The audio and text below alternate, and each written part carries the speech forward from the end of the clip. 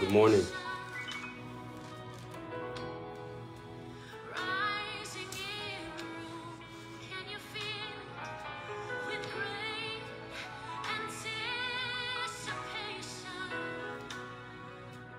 Good morning, Miss Tellis. Good morning.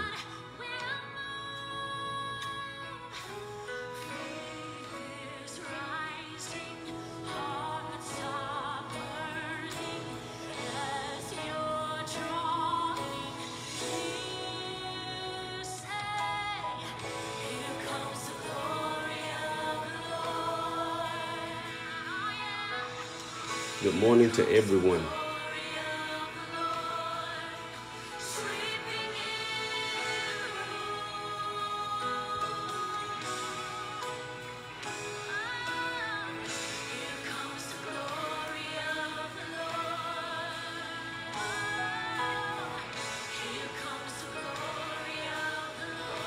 Good morning to everyone.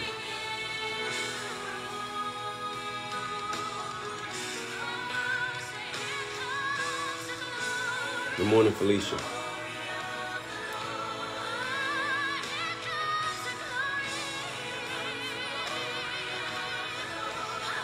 I'm going to give everyone a few more moments to get in here.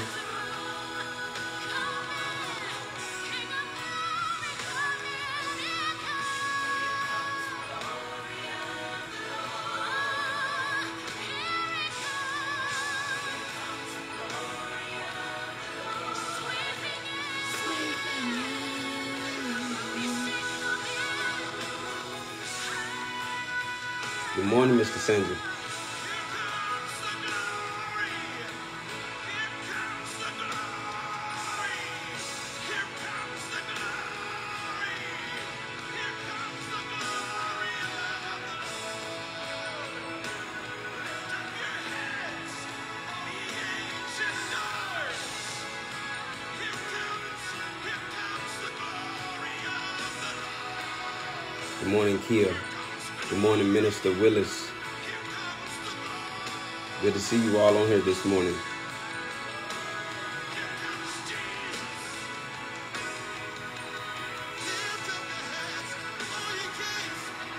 Give me 60 more seconds. We'll go ahead and get started.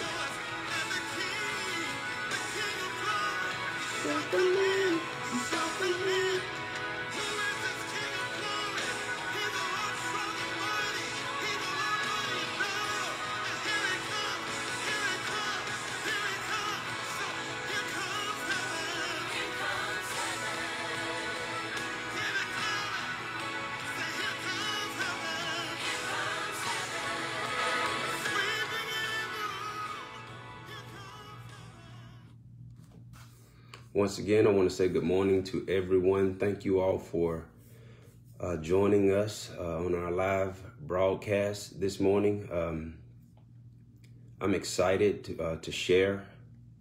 I'm excited to have you all on here. We all are uh, seeking uh, revelation uh, from the Lord as it relates to how to move forward, what we need to do.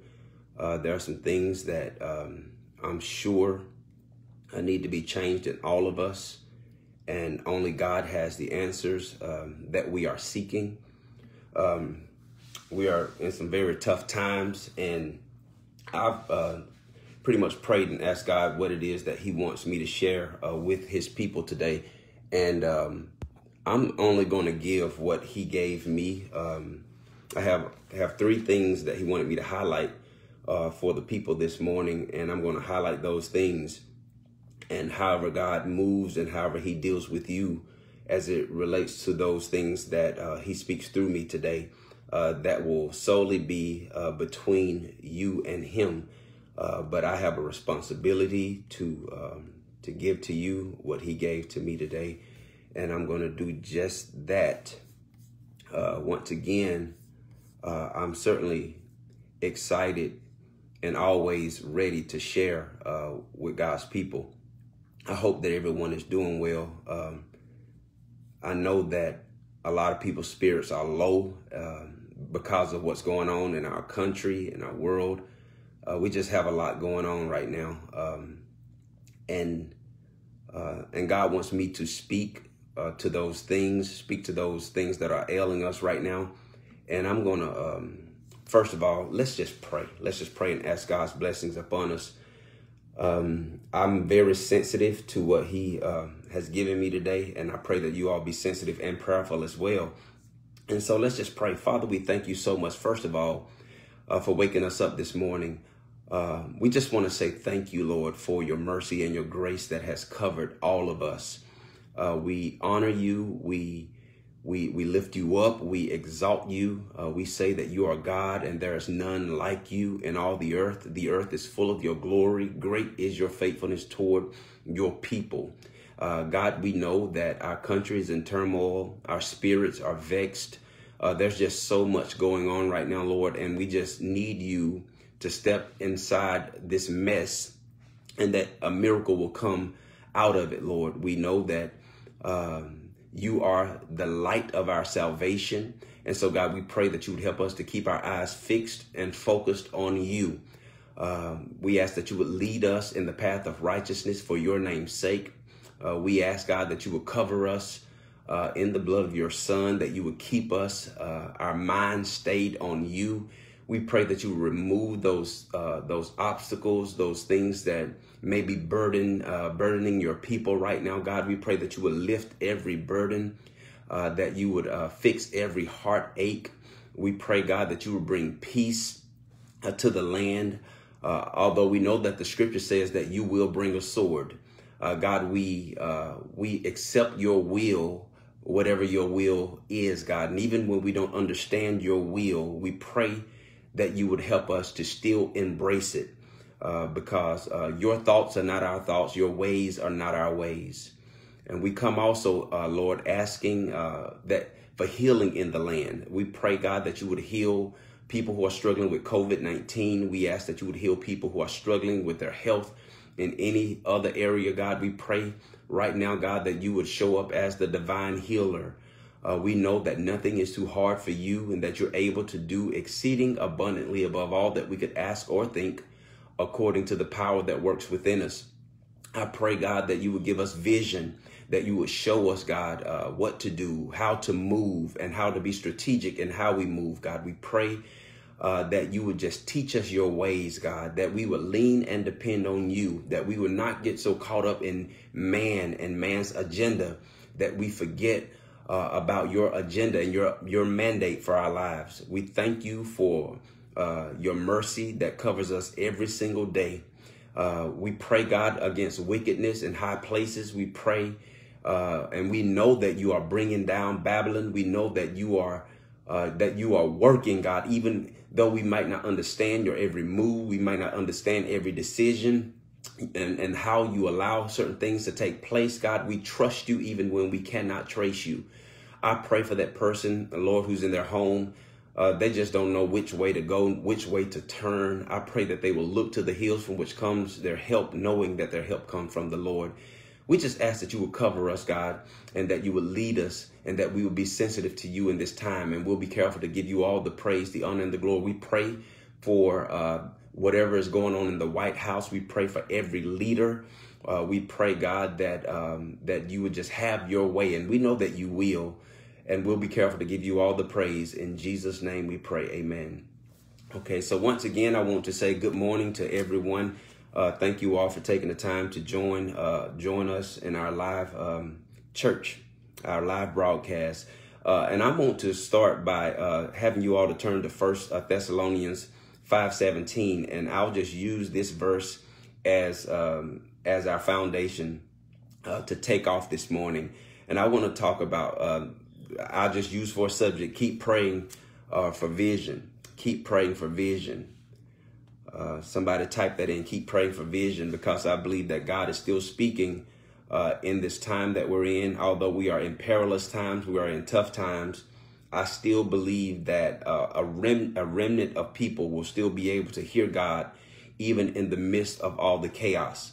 And I promise you, uh, we are certainly in a season where you need directives from God. You need to know what to do. You need to know what God is saying, and you need to be sensitive to what He's saying. Uh, granted, there is a lot going on. A lot of things are simply a distraction uh, to what God is trying to say to his people uh, in this time that we're in. And so we need God to give us vision. We need God to show us, to, to, to lead us and to guide us because, because if we don't let God guide us, if we're not sensitive to where he's trying to take us, then we're going to miss some major events. We're going to miss some major things that God wants to do uh, in our families. We're going to miss some things that God wants to do with us individually. And I believe that we also miss some things that God wants to do with us collectively.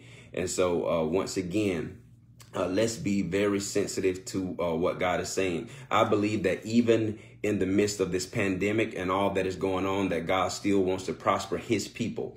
Uh, God still wants his people to move forward. You know, he does not want people to put um, uh, put brakes on what he's called them to do. People who are in ministry uh, need to continue to serve uh, need to continue to be faithful, need to continue to uh, to follow the mandate of God. Because when God puts a mantle in the hands of His people and on the life of a person, that mantle will sustain them through any pandemic. You know, so um, there's nothing too hard for God, and I need God's people to remember that there's nothing too hard for Him, and that all things are possible uh, uh with God. You know, so once again.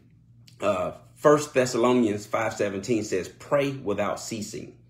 Pray without ceasing. That is a simple verse. Um, it's not the shortest verse, but it's next to the shortest verse in the Bible. Pray without ceasing. Um, uh, we we are certainly in a time where we need to be we need to be prayerful, uh, not simply just go into a place and pray, but we need to be prayerful minded. We need to be prayerful minded. We need to be very sensitive to what the Holy Spirit is saying uh, and what he's trying to uh, accomplish in this season because it's very easy to get in your flesh. It's very easy uh, to think that you know uh, what you're doing. It's very easy to uh, take your own route in your own way and miss everything that God wants to do. So, um, there are, and I need you all to, to really hear this. There are blessings even in this season.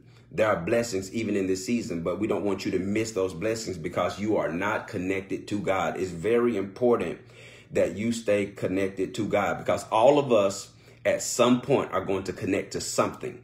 But in this season, you need to stay connected to God because there's too much chaos for us to not be connected to Him. We are certainly in a spiritual warfare. Ephesians 6 talks about this spiritual warfare, and this is a warfare uh, that is not a flesh and blood fight. If we're if, if you are spiritual minded, uh, it's very important to, for you to be cognizant of the fact that uh, we wrestle not against flesh and blood. We rep all of these fights and all of these battles that are going on right now. Although uh, it looks like man is fighting man and women are fighting women and people are fighting people, it's so much deeper than that. Uh, Ephesians talks about a spiritual warfare. There's wickedness going on in high places, you know. So uh, if you're not careful, you will think that man is um, that that that this is about man when really this whole thing is a spiritual warfare. It's a spiritual warfare, and only a remnant of people are going to catch that. And so that's why I say be prayerful. But I want to get go ahead and get to the crux of what the Lord wants me to share with his people today. There are three things um, that I want to speak on, and I'll speak on these things and I, I'll get out of your way. One, um, he wants me to talk about uh, standing for what is right without doing what is wrong. That's one thing that I'll come back and speak on. Secondly, he wants me to talk about uh, the importance of remembering the power of God. The importance of remembering the power of God. And lastly, he wants me to encourage and motivate his people to not live in fear and to be reminded that God will take care of you. God will take care of you. Uh, so, uh, my first point uh, stand for what is right without doing what is wrong. As I was reading, uh, I went to Micah, uh, which is M I C A H. I know that's not a familiar uh, uh, book to a lot of people. Micah 6 8 says this, and it talks about there are three things that the Lord requires of his people. There are three things that God requires of you. Actually, the text says, um, he has told you, oh man, what is good. And what does the Lord require of you but to do justice, to love kindness, and to walk humbly with your God. And so I want to talk about these three things that God requires of us. Even though we have a lot of chaos going on, you cannot lose focus of God's expectation of your life. Okay? You don't drop God's expectation because you disagree with man. Okay? God has placed a mandate on your life. That means that God has placed a calling on you. God has placed a responsibility on you. God has placed, um, God has placed, um, God has placed certain boundaries around your life. Uh, and he's giving you a mission that you need to carry out. And that mission consists of at least three things. One, to do justice. To do justice. What does it mean to do justice? To do justice means that you do what is right in God's eyesight. Okay? That's what it means to do justice. You know, there are people, uh, and I, I believe that this country is really racing very quickly toward a race war. And if we are not careful, uh, we will forget that God has called us, his people, uh, to a holy and higher standard. We have to make sure that we are not just going with the flow. We have to make sure that we are not just jumping in battles that God uh, has promised to fight. We have to make sure that we have not lost focus of where God has called us from and what he has called us to. Okay. When God called us, he called us out of something and he called us to something. And not only did he call us from something to something, but he's also placed a, a specific calling on our lives to be a blessing to his kingdom. So we cannot lose focus of that because we can get in this battle and get in this war that's going on and, and, and we can, and our callings can become null and void. So we have to be careful not to lay down the mantle that God has placed on our lives. So please type that in. Do not lay down your mantle. This is not a season where you need to lay down your mantle because there's something that God wants to accomplish through you. And in order for him to accomplish that through you, you have to stay focused. You have to stay focused. It is imperative in this season that you can see past all of the debris, that you can see past all the smoke, and that you can see past all of the distractions and still accomplish what God has called you to. You got to remember that the battle does not belong to you. The battle belongs to the Lord. It does not mean you don't have an opinion. It does not mean you don't feel some type of way. It does not mean that you won't get in your feelings at times. It simply means that even though you might disagree with some things, even though you may feel some type of way, even though uh, what you what God has revealed in this season is very heavy, I am still determined to follow the Lord through all of this because if I lose focus of him, then I'll do just like Peter did when he took his eyes off of Christ. He began to sink immediately. And we are certainly in a time where people are sinking because they refuse to crucify their flesh. People are sinking because they're in their feelings. People are, are sinking because uh, they, they don't know how to manage their own feelings. You have to learn how to manage your own feelings. Even when you disagree with things, you still have to properly manage your feelings and only God can help you do that. You have to be careful with turning to wrong to the wrong people for advice. Uh, as a matter of fact, Psalm chapter 1 verses 1 through 3 talks about uh, how blessed is the man who does not walk in the counsel of the ungodly. You have to be careful and make sure that you are not taking counsel from people who are telling you the wrong stuff.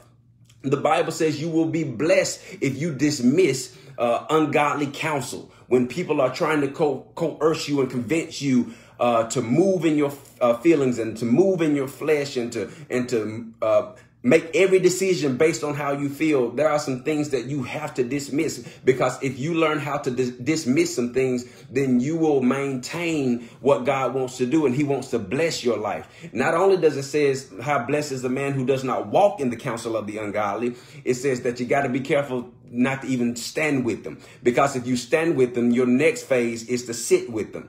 You know, you don't get comfortable sitting with somebody unless you first become comfortable standing with them. So you better be careful who you surround yourself with because surrounding yourself with the wrong crowd of people can cause you to miss out on blessings. And I believe that God not only will bless you, but God will bless generations that come, that will come behind you. You know, so you don't want your children missing blessings because you were acting a plum fool. You don't want your grandkids missing blessings because you didn't know how to manage your feelings and because uh, you you uh, were not willing to break that family curse. You don't want generations that are coming behind you to miss everything that God wants to store up through you. And so, in order for that to carry out and to take place, you got to be careful how you move. You got to be careful how you move. You can't listen. There were a lot of times that crowds followed Jesus, but Jesus typically gave attention to the one, or he gave attention to the two, or he gave attention to the, uh, you know, to the, that remnant of people who were not just a part of the crowd. You know, so you got to learn how to be distinct. I mean, to be distinct and to be set apart because God has called us to sanctification. And the word sanctification does not mean that you have everything together. It does not mean that you're you're crossing all of your T's and dotting all your I's. It doesn't mean that you don't get caught up in sin at times. It simply means that uh, that God has called you and God has placed something on your life, and and out of all the people in the world, God has chosen you and He has set you apart to be used for His glory. And I believe that the reason wickedness uh, is more prevalent in the land today is because those people that God has set apart are shrinking. We're shrinking and we're hiding and we're afraid to take a stand for what is right, you know, and because of that, and our voices have become silent, then wickedness is prevailing. You know, so it's really time. And I was talking to another a brother the other day, and we both were asking, like, where's the church? You know, why is everybody silent? Why is everybody shrinking back in a time where people really need to hear God's voice? Like, where's the church now? You know, why this is not a time for the church to be silent. This is not a time for the people of God to be silent. This is a, is a time where we ought to be standing up. This is a time where we ought to be speaking from the rooftop because people people are desperate for a word from the Lord. Period. You know, because it's too much going on. There are people being that are depressed right now. There are people who don't know which way to go. There are people who are frustrated. There are people um, on the verge of backsliding and just turning away from the gospel altogether. And so it's very important that we learn how to speak, uh, speak uh, truth to power, uh, that we speak a, rever- a, a relevant word, you know, in the time that we're in right now. And I know that a lot of preachers want to preach those hype sermons where everybody's shouting and everybody is running.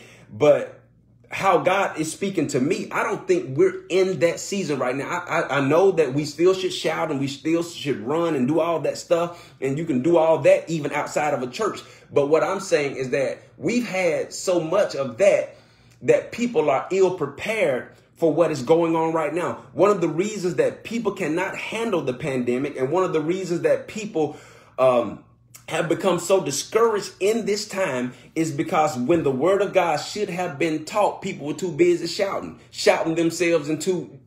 Come on, y'all know what I'm talking about. There's a time and a season for every, for everything, every event under the sun, and we're in a time where people actually need to be taught. And so, one, we got to stand for what is right without doing what is wrong. Uh, one, you got to do justice. What is doing justice? To do justice means that you're doing what is right in God's eyesight. Pleasing men and women will throw you off balance. I don't know about you, but I've had enough of trying to please men and women. Come on. We're always trying to make somebody else happy. We're always trying to accommodate for other people. We're always putting our lives on hold. We're always putting our callings on hold uh, to appease other people. But doing justice and doing what is right in, in God's eyesight means that you're going to have to say no to some people. Okay? Regardless of how the people you're connected to feel, you got to make sure that your ultimate goal every day is to please God. Yep. People will put more pressure on you to please them than God. And and listen, that season is over. That season is over because let me tell you something that this pandemic has done for a lot of people. This pandemic has been so revealing This pandemic has been so revealing. It has a lot of friendships have been broken up, a lot of relationships broken down, a lot of churches and church members crumbled. A lot of things happened.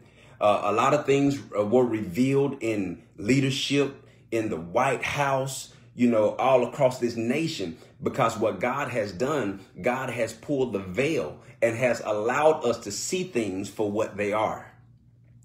God has pulled the veil and listen, Listen, all those years that we have been praying, God lead us, God guide us, Lord protect us, Lord, uh, you know, reveal to us those things that we cannot see. Now we are in a season where God is is doing just that, you know. And guess what? We can't handle what we see. We having a hard time with what we see, and we walk around and act like we didn't know that all of this stuff that we seen from the White House to our house go on. We we already knew that this stuff was brewing.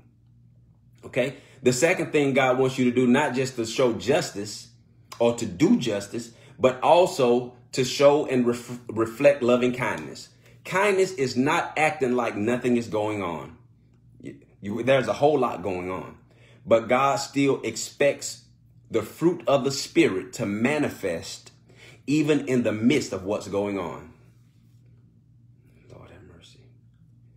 God still expects the fruit of the Spirit to manifest even in the midst of all the hatred, all the fighting, all of the chaos going on. God expects you to be an example. He expects you to reflect him. He expects you to be kind to people. That that's right. He he expects that from you because kindness is one of the fruit of the spirit, loving kindness. And also long suffering. The same thing that God demonstrates toward us is the same things or the same uh, fruit that he wants us to demonstrate toward other people. Loving kindness, uh, long suffering means that you suffer long. You can put up with a little bit more. And listen, we're in a time really where our patience are really short. And the reason our patience are short is because we're trying to do this thing on our own. You know, you can't you can't love your enemy and feed those who are hungry and give them drink when they're thirsty in your flesh. Come on, somebody. You can't do that in your flesh. It's impossible to do in your flesh. Because in your flesh, you'll be just like everybody else. But God has called you to a higher calling. Mm, somebody type that in. God has called you to a higher calling. You, as a believer, cannot go with the flow. I know you want to go with the flow. I know you want to, I know you want to get violent with other people. I know you want to uh, call people names. I know you want to get in your flesh. I know you want to show them that you're not going to be messing with me and you don't know who I am and where I come from. But God says that doesn't represent me. There is a way to get your point across and still be in alignment with God. Furthermore, some battles are not meant for you to fight. Some battles belong to the Lord. Sometimes you need to war in the war room. Hello, somebody. That means that you need to pray without ceasing. That means that when when God begins to reveal things to you, because I'm I'm in a I'm at a point in my life, I believe that God is revealing the most to those who have the most intense prayer life. God is revealing the most to those who have an intense prayer life. Because what we need right now, we need people who are prayer warriors. And a prayer warrior is not an ordinary prayer uh, person that just pray. They don't just pray on the go. They find their place. They go in their closet. They go in the war room and they war against these evil spirits in high places. These are people who will find themselves under attack. These are people uh, who who go through a lot of frustrating moments in their life, and the reason they go through all of that frustration is because they have one of the most intense prayer lives. They are warring against demonic forces. They are warring against uh, witches and warlocks. They are warring and they are praying for families. They are praying for nations because some of these demons that we are praying against are high level demons. Hello, somebody. And some of y'all know exactly what I'm talking about. You can't just put a little, uh, uh, now that I lay me down to sleep prayer on a high level demon. You got to go in the war room. You got to know God. You got to know scriptures. You got to cut that thing down and you got to cut it down by the word of God. And the only way to do that, you got to first know God. You got to first know God and then you got to know his word. I'm not saying that you got to be able to quote the Bible backwards and forth, but if you're going to be a proud warrior, you got to study to show yourself approved. You got to be able to open this up and say to the enemy what is written that man shall not live by bread alone, but by every word that proceeds from the mouth of God. When Jesus was in the wilderness and he was being tempted by the devil, he every time he quoted something, he quoted the word of God. He didn't even he didn't listen if he says that man cannot live by bread alone, but by every word that proceeds from the mouth of God, and if he knew he had to quote scriptures and know the word of God, then how do you think you're going to beat the enemy if you don't know the word? You got to know the word. If you can remember these rap songs and every lyric and every verse and every bar in all of these songs, and if you can remember every commercial that they pr- uh, play on television, and you can remember the latest gossip that somebody is sharing and what's going on in somebody else's house, you ought to be able to remember something that's going to set your family free, that's going to set your kids free, that's going to build a hedge of protection around everything that you love, which is the word of God. If you even want your children to survive in the schools during the day that we're living in, you got to know how to pray. If you don't know how to pray and if you don't know how to wage war against the enemy, you'll come home and your kids will be speaking another language that you ain't never heard before. You know, the kid that left your house will come back a whole different kid. You got to know how to go into the enemy's territory and take back what he's trying to steal from you. And how, how are our kids going to be able to make it with parents who don't know how to pray, with grandparents who, who don't even know God? Everybody's acting like they don't need God. Man, I need God every single day. I need him for the air that I breathe. I need him. I need him for every step that I take. I need him to drive down the street today. There's no way I'm going to act like I don't need God. You can act like you don't need him if you want to. And when you need him, he might be slow to show up because you ain't you ain't called him all your life. And now that you need him, you expect him to show up and be your genie in a bottle. You got to you got to know him for yourself because there are benefits to being connected to our heavenly Father. There are benefits be, to, uh, to being connected to him. So you got to do justice, loving kindness, and then you got to walk humbly with God. Walk humbly with God. Make sure you stay humble.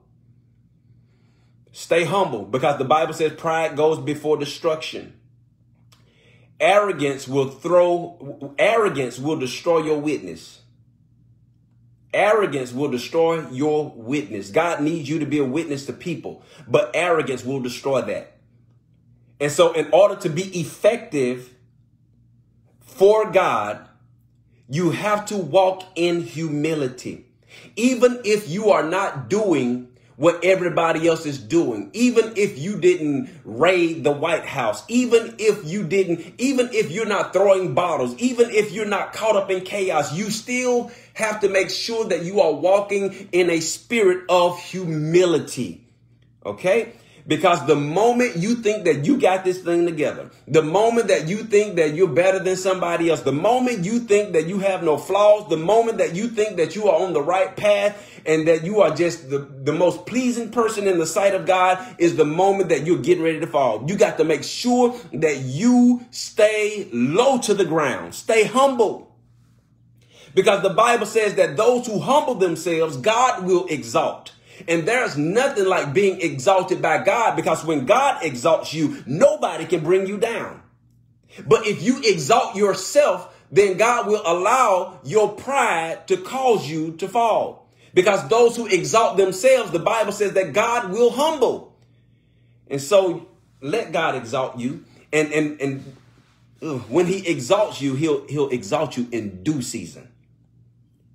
He'll exalt you at the right time make sure that you are sensitive to what God is saying to you in this moment. Because a moment can elevate your life and a moment can destroy your life. Do you hear me? I said a moment. If you hear God in season, and if you hear God in stride, it can change your life. It can change your children's life. It can change your community's life. It can change everybody's life who's connected to you if you hear him in season. But if you miss him when he's speaking, if you miss him when he's speaking, if you if you're caught up in what everybody else is saying, you're hearing everybody but God, you're headed, you're headed in the wrong direction. So make sure that you stay stay humble. A time is coming when who you really are is going to emerge when you're less expected. And so this is a this is the best time for all of us to check our hearts. This is this is one of the best time to ask God to move those things out of you that don't exemplify him. If you got hatred in your heart, you need to ask God to move it. If you got bitterness in your heart, you need to ask God to move it. If you came into 2021 with unforgiveness in your heart, you need to ask God to move it. You said that you were going to let all of that stuff go from 2020. And here we're in the first month of 2021 and you still being controlled by the things you said you let go of.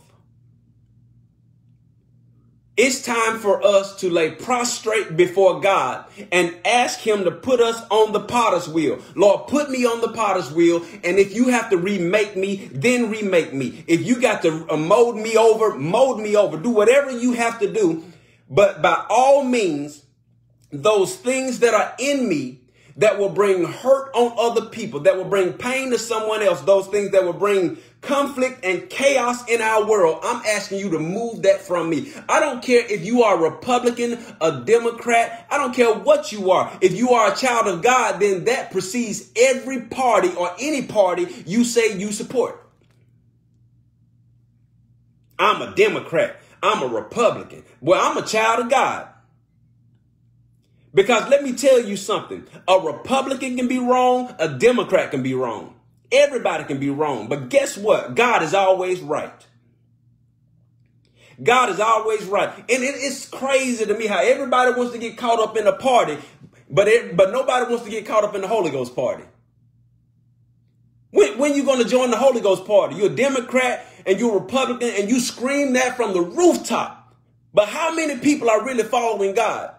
Because when you're following God, God will have you to be, God will tell you to close your mouth representing a party. And I need you to represent me because I will ask you to do some things that your party won't tell you to do. Yeah. So make sure you walk humbly with your God. Next thing he took, okay, so now he says, okay, stand for what is right without doing what is wrong. Secondly, remember the power of God. It's imperative. I don't care who say they have power in the White House or any other house. Power belongs to God. Hmm. Somebody type that in. I need you to type that in and reflect on it. I need you to declare that over your life. I need you to declare that in your home. I need you to declare that over your atmosphere. Power belongs to God.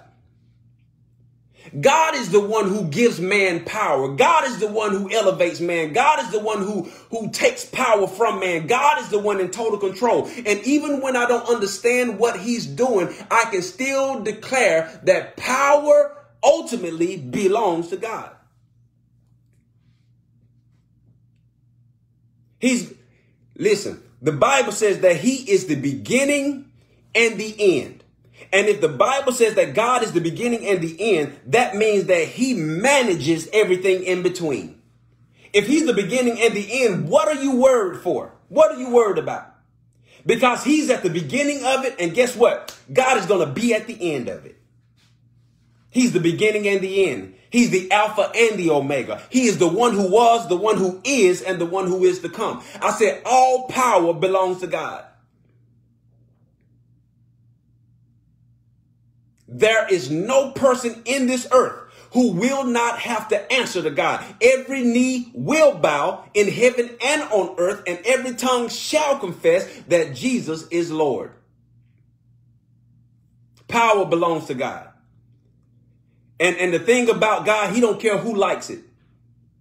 He don't care if you like the fact that, that he's on the throne. He doesn't care whether you like it, whether he has our power or not. God is not concerned with how you feel about his position, about his power. Because at the end of the day, regardless of what your job position is or what your family's name is or what color you are, what party you represent, you still going to have to bow and answer to God. Don't care how much riches you got, your riches can't buy you out of that moment when you will have to answer to God. All of creation will stand before God and give an account for their lives, be it good or bad. That goes for every president, that goes for every senator, it goes for every every it don't matter who it is. From local to national, every pastor, every deacon, every person, every human being will stand before God and give account for their life. And so, and, and that's why one of the points that God gave me to give the people is that you got to be humble. Because sometimes a person's position can make them feel invincible. Sometimes a person color can make them feel uh, superior. Sometimes, uh, yeah, sometimes a person's status in life can make them feel, you know, like they have arrived. Paul says it better. He says, he says, you know, I, I have not attained. He says, but one thing I do know, you know, that I'm pressing towards the mark of the high call of God on my life. He says, I'm forgetting those things that are behind me. And so you, you got to stay humble and remember that all power belongs to God. Our focus has to shift away from what we um, from, from what we see to what we know.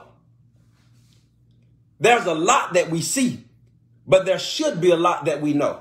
You've been going to church for how long? You've been shouting for how many years? You've been calling yourself a Christian for how long? And one of the one of the saddest things to ever hear is for somebody to say they've been a Christian for 10 years and don't know nothing. And it really, when a person does that, either they were in church and they wasn't being taught anything, or they were in church and not paying attention. But either way, it's a sad scenario. Because the word of God has been given to us to navigate us through times like this. We don't live in fear because we know what the word of God says. God has not given us a spirit of fear, but a power, love, and a sound mind. I hope you're with me. The reason I'm not losing my mind about what's going on in the White House is because I know what's going on in the big house, and that's God's house. You mean? Y'all caught up in the wrong house. David says in Psalm 23 and verse uh, 6, you know, I should dwell in the house of the Lord forever. That's what my focus is on. Dwelling in the house of the Lord. I'm not trying to go to no White House. I'm not trying to go there. And if you think you getting ready to go to the White House and you think you about to storm up in there, you, yeah, you got another thing coming. Don't don't try it. That battle is not yours to fight. So we, it's time for us to, to, to, our focus to shift away from what we see back to what we know. Okay. First Peter 5 11 says this To him be dominion. To who? To God. To God be dominion. Dominion is another word for power forever and ever. Now that's one thing I know. I know what I see, and what you see will sometimes confuse you if you have not been convinced. Okay? But I'm convinced.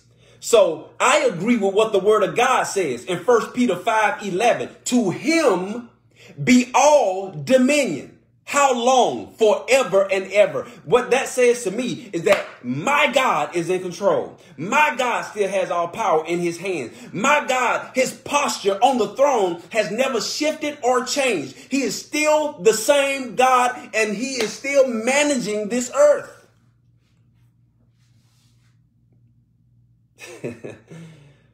to him be dominion and power forever and ever.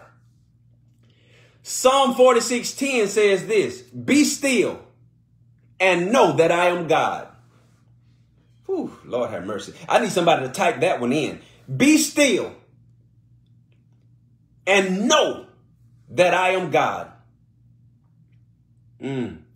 He told Israel that when Pharaoh was coming trying to um, overtake the army of Israel, and they had the Red Sea in front of them. They were caught in like a catch 22 and they couldn't go backwards because the army would have destroyed them. They couldn't go forward because they would have drowned in the sea. And this is when God showed up and he told the children of Israel, he says, just be still. Don't do nothing. I need you to sit down. I need you to be still and I need you to watch me be God. Sometimes God just wants you to watch him be God. He don't want you to, he don't want you to war. He don't always want you to march. He don't always want you to say something. Sometimes he simply wants you to be still and watch him work.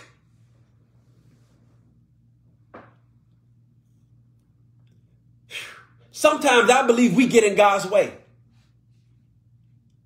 If listen, let me bring this home to you. If you're in a situation in your personal life and you can't go back and you're having a hard time moving forward, Sometimes God will allow you to be caught in a catch 22 or you, it's like you're like a rock in a hard place. In moments like this is when God will he will move into your situation and he will pull you out of it and at this moment, you will know that it was not your mama who got you out. It was not your daddy. It was not your finances. It was not your, your circle. It was not your BFF. It was nothing and nobody but God. Most of us wouldn't know God the way we know him today if we had not been caught up in a catch 22 or a, like a rock in a hard place.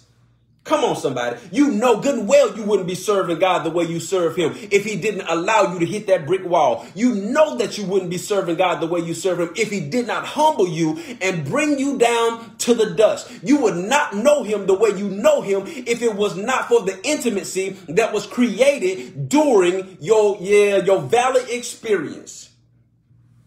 My valley brought me closer to God. When I was lost and didn't know which way to go, that's how I uh, got closer to God. When I thought I knew what I was doing and when I was doing my own thing and when I was hanging out doing everything under the sun, that's when I thought I knew what I was doing. But guess what? That quickly came to an end.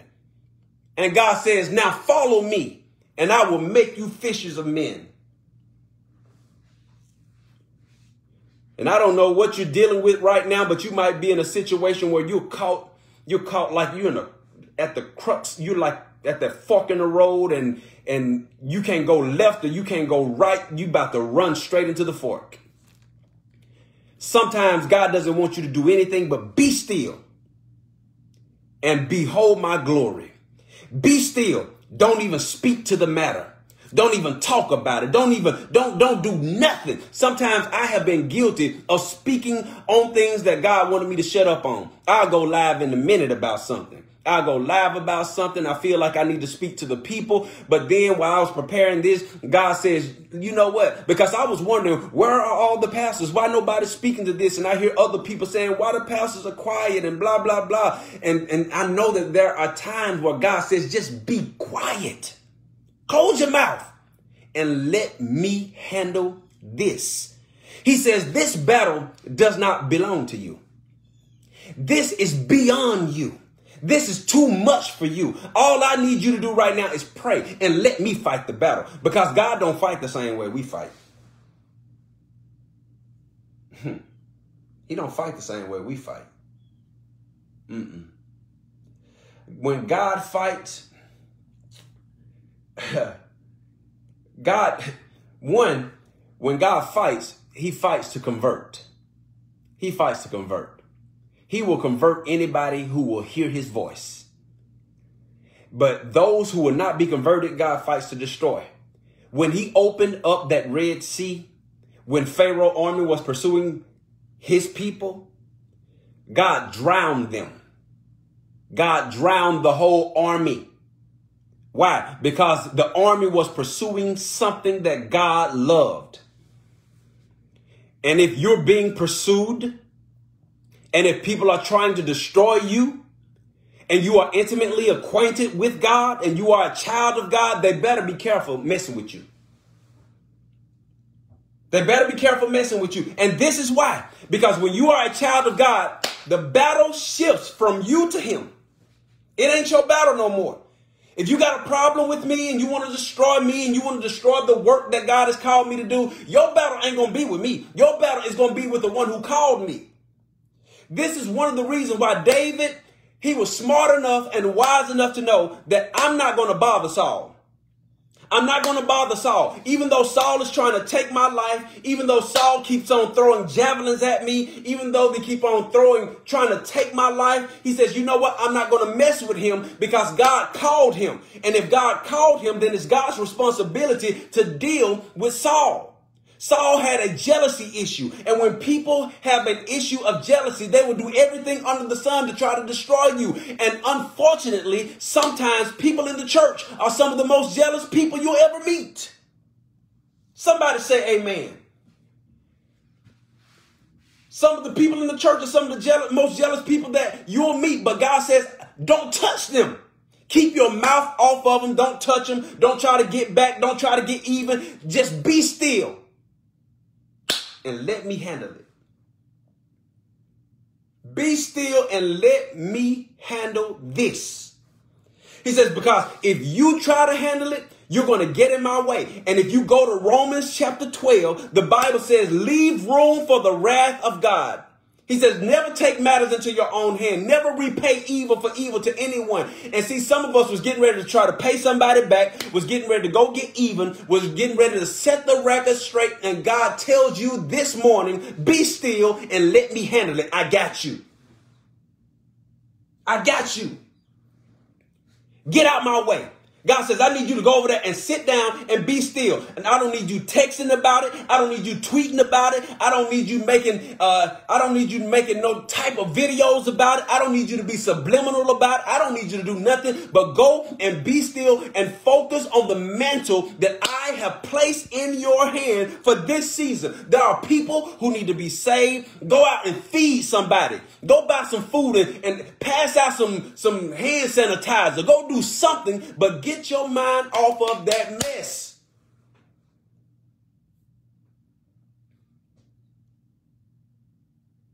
Your blessing is in serving. And if and if you got people in your ear distracting you from what God has called you to do, then today is the day you need to realign yourself with him.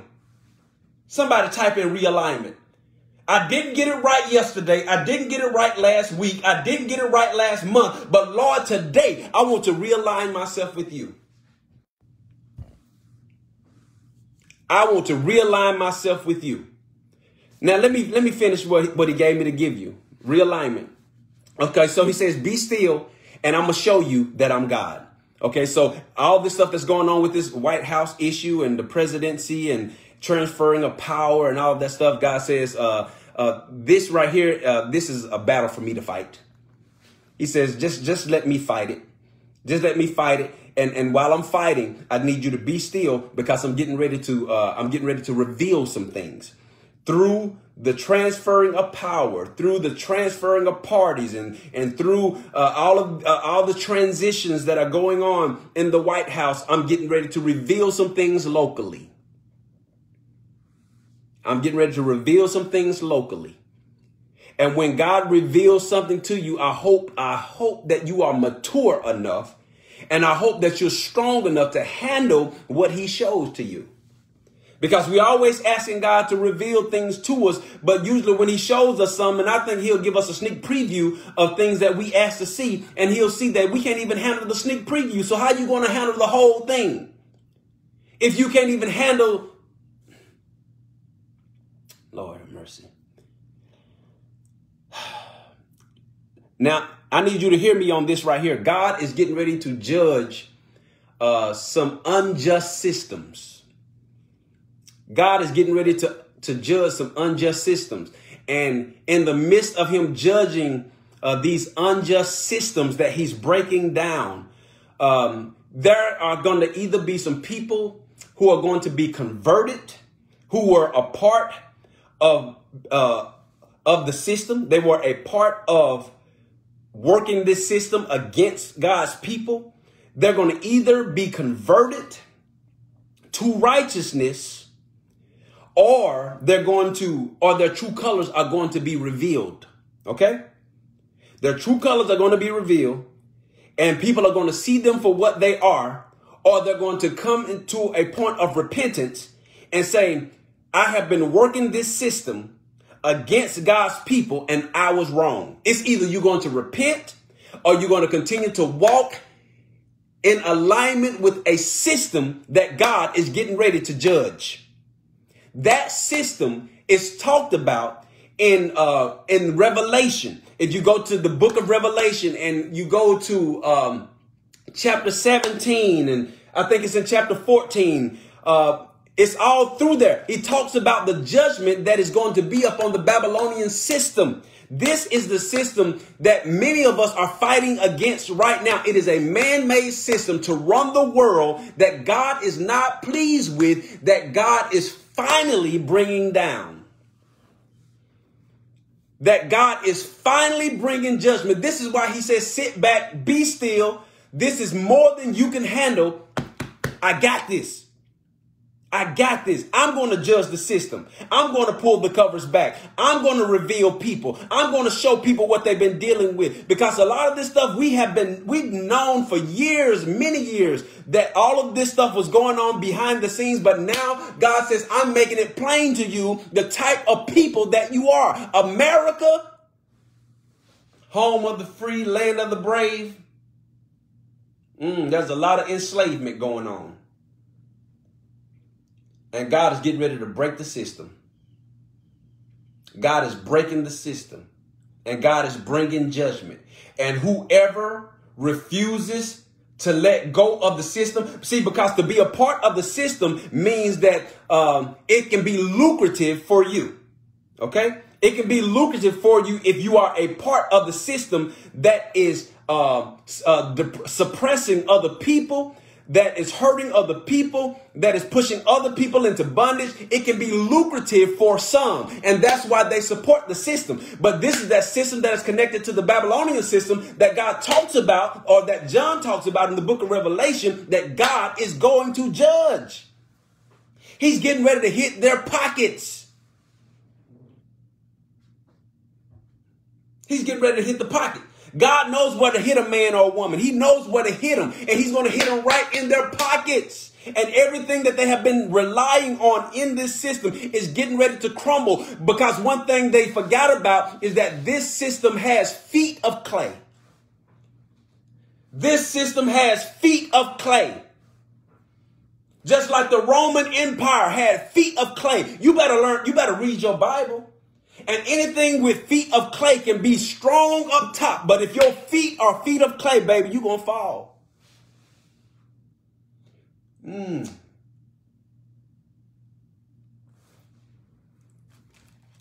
Check the feet. God is foot checking. God is foot checking. Not only, not only is this system going to fall, but a lot of people, um, a lot of people who call themselves Christians or believers, um, they got they got clay feet. They got clay feet, meaning that they, they were making a profession of something that they really were not. Oh, the, and the evangelicals, that's a whole nother sermon. They're in trouble. They're in trouble. God is even revealing all of these folks who say that they are believers and they're for everybody. And, and we are all Christians and we are all under God. All of that stuff has been taught for so many centuries. Now God is revealing that anybody can say that they're a Christian, but everybody ain't a believer. Everybody ain't a believer in the word of God. Everybody does not believe the God of the Bible. They believe in a God. They believe in a God. And I'm I'm at a point in my life where I'm believing that there are many branches of Christianity. There are many different branches of Christianity.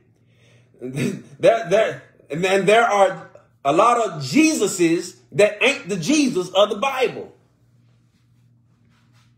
Y'all better wake up. Talking about stay woke. Some people still sleep. Even some of the people who are saying stay woke ain't woke. They saying that in their sleep. Let me. We're getting ready to witness the crumble of an empire. And remember that you heard God say it through Pastor King. You getting ready to witness the crumbling feet of an empire. And so uh, remember God's power. And this is my last point, and I'm out of here.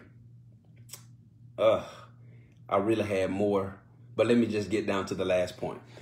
Uh, the last point is this do not fear. Do not live in fear. God will take care of you. That, that's what I want to leave you with. You know, we said a lot this morning, but all of this is not said so that you can live in fear. You don't have nothing to worry about if you are in Christ. If you are a child of the Most High God, and, and if you read the book of Revelation, uh, a lot of people are afraid to read it because they, they, it's a lot of judgment in the book. It's a lot of symbolism in the book.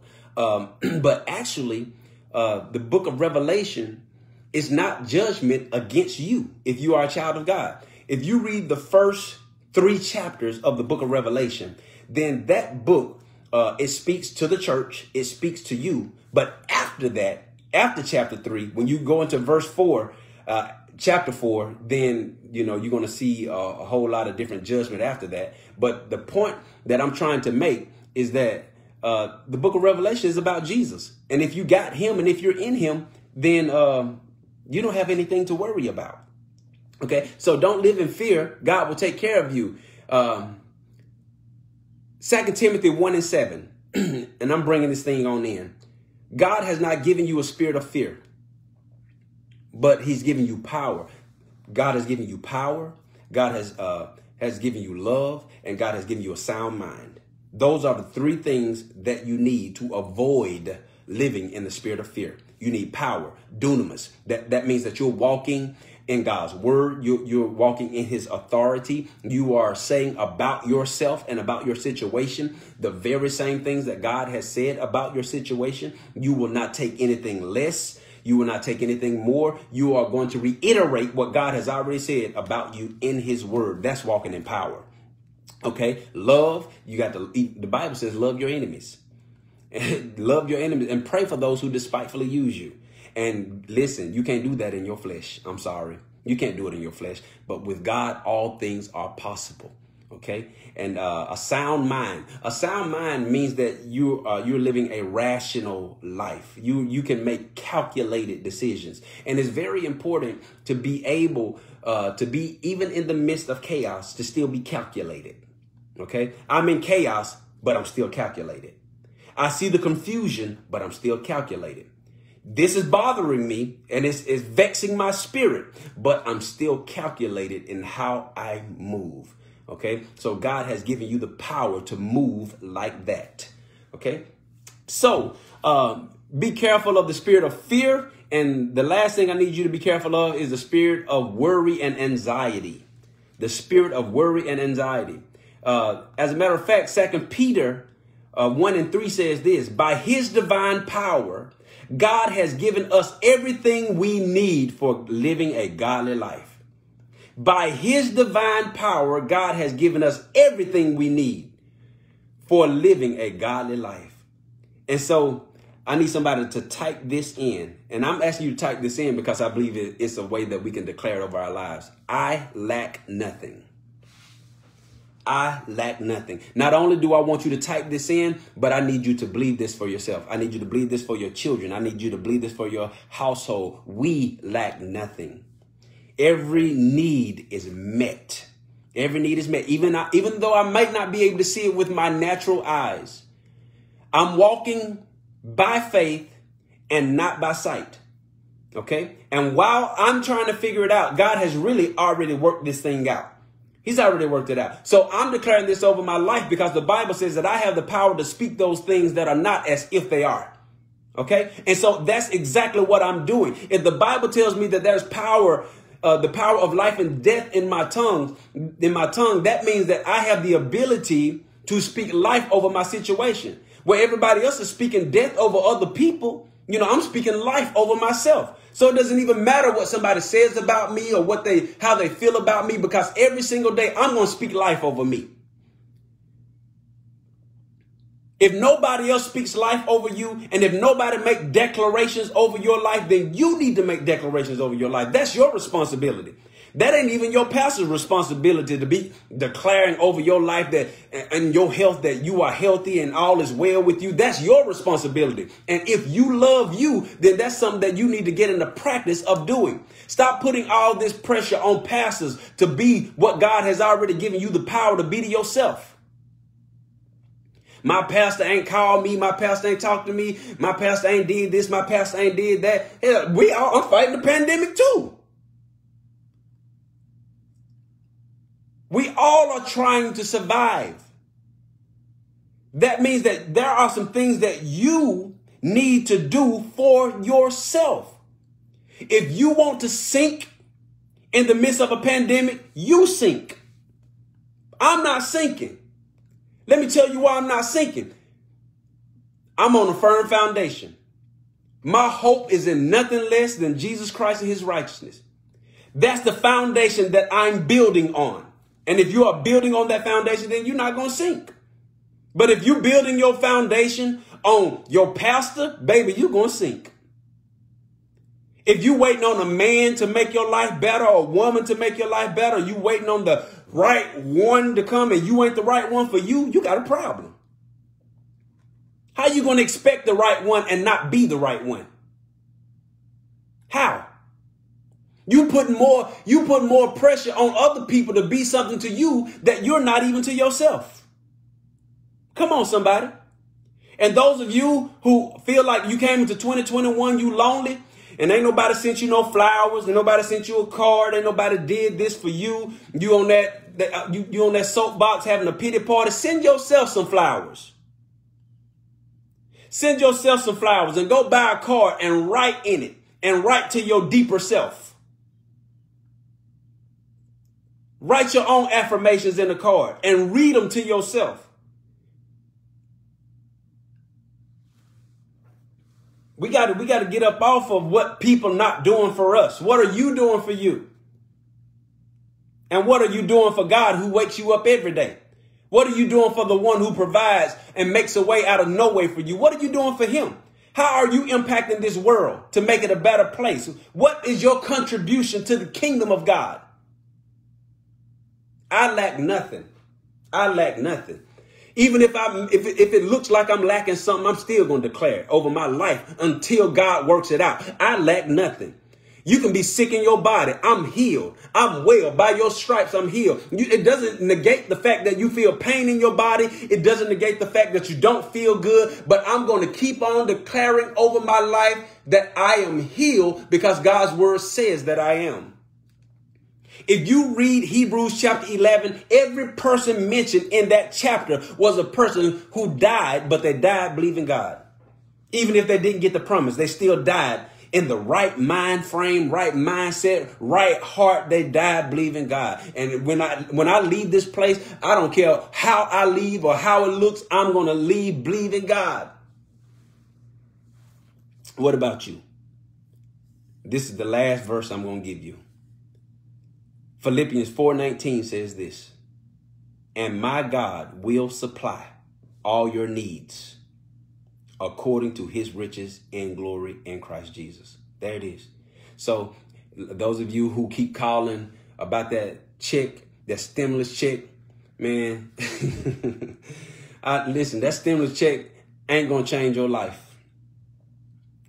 That stimulus check, man, we appreciate the little $600 or those of you who got multiple kids, 1800, those you got multiple, multiple kids, maybe, you know, 2400 or something like that, you know, but listen, with or without a stimulus check, God's still going to keep you. That's what he wanted me to tell you. With or without a stimulus check, I don't care if it's 200, 2,000, or 4,000. Don't sell your soul for a stimulus check because God promised to take care of you. He promised. He, the Bible says that my God will supply all your needs. Not Trump, not Biden, and no other president. But God will. Somebody type in God will. I'm getting ready to get out of here. I'm getting excited. God will. Even if you don't, God will. Even if they don't sign the bill, God will. Because he promised to supply all of my needs according to his riches and glory. And not only that, but he promised to never leave me and to never forsake me. And so once again, I say, do not live in fear. God will take care of you. Lift up your head, O ye gate, and let the King of glory come in. Who is this King of glory? the Lord God Almighty. He's mighty in battle. Come on, somebody. Y'all know what I'm talking about. God has been faithful. He has been faithful since day one. He's never turned his back on you. And for those of you who's experienced loss in uh, 2020, maybe in 2021, you probably lost a loved one due to COVID-19.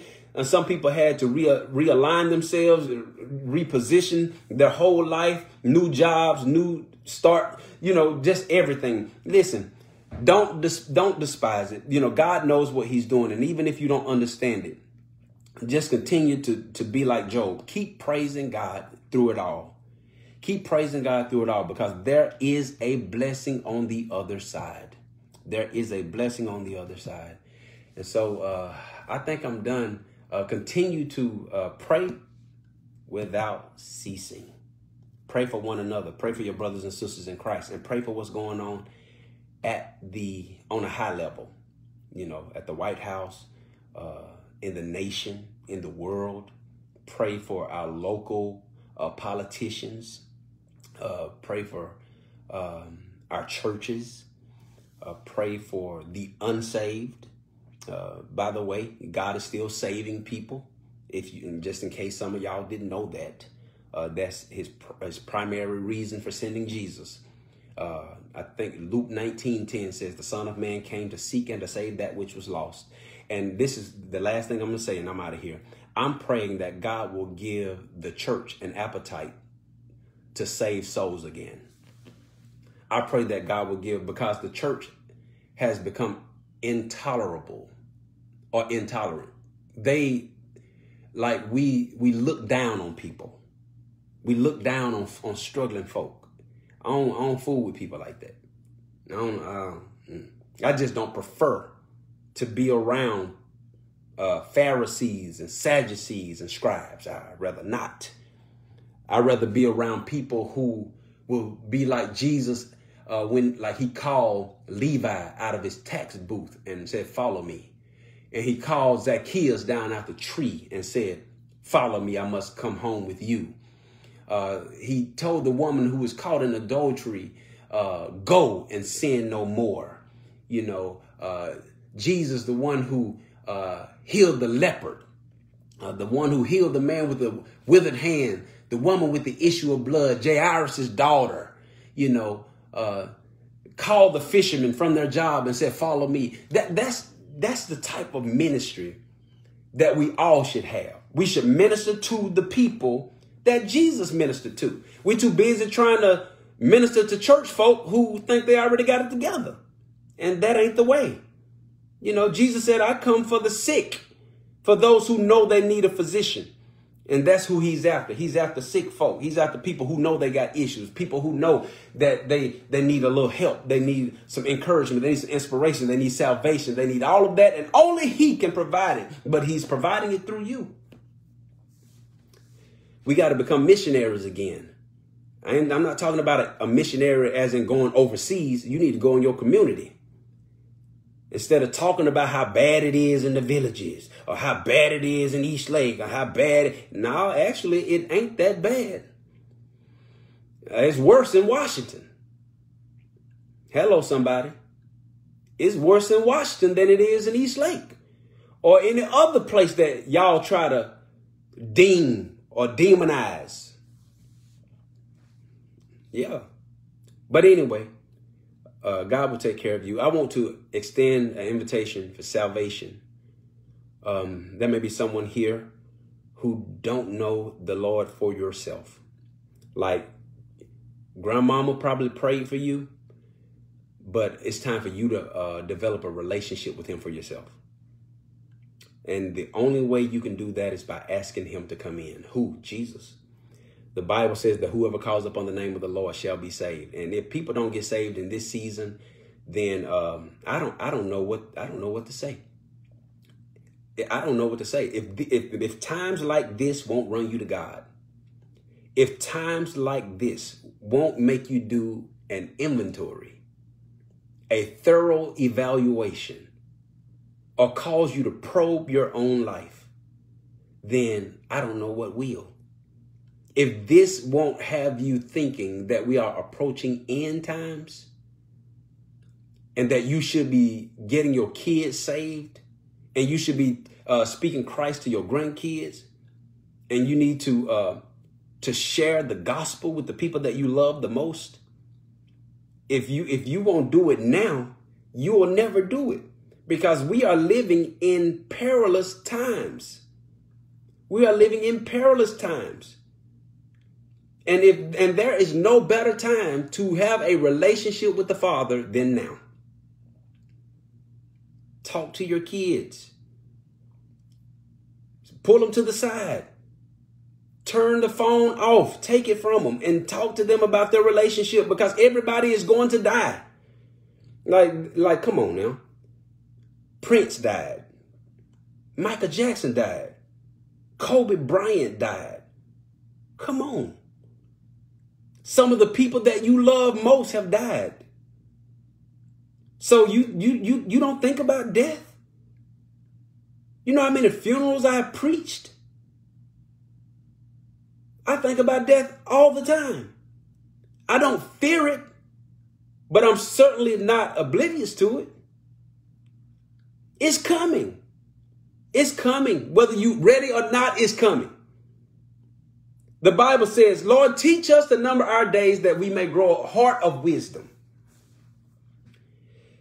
And if this season won't grow your heart in wisdom, nothing will. Nothing. For some people, not even a near death experience will help them. Not even a near death experience after Michael Jackson and Prince died, boy, I was like, whoo. And then when Kobe Bryant died in the plane crash, I said, oh, whoo, that shook me. Then Jesus died. But the good news about that is that he didn't stay in the grave. That's where our hope comes from.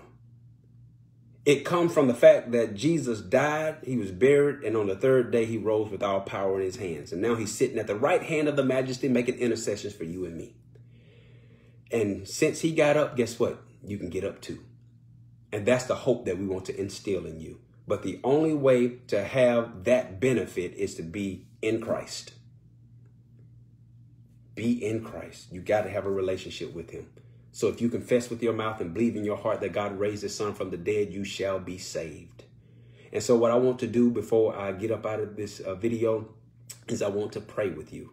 I want to pray with you. And also um, I want to give you all an opportunity uh, to give, you know, to sow into good ground because it's certainly good ground because we know that people are being blessed uh, on many different levels in many different places. And you, of course, you can uh, cash app Inner Peace Church or you can give by texting give to 423-320 um, no no no 301 55 what is it tab?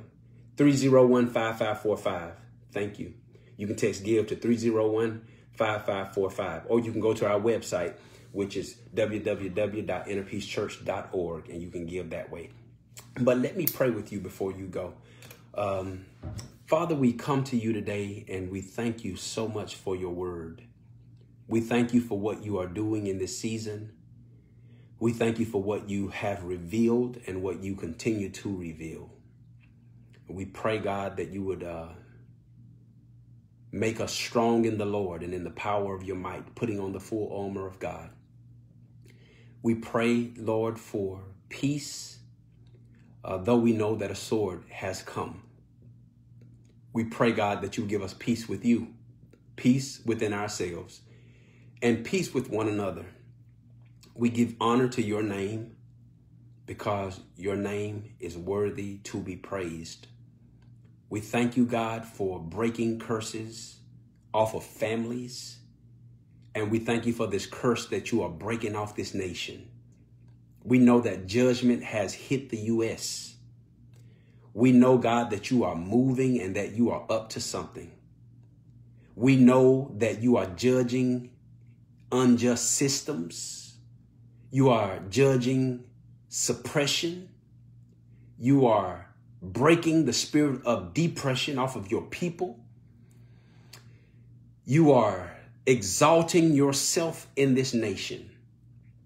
We thank you for being our protector and provider. We thank you for making a way out of no way.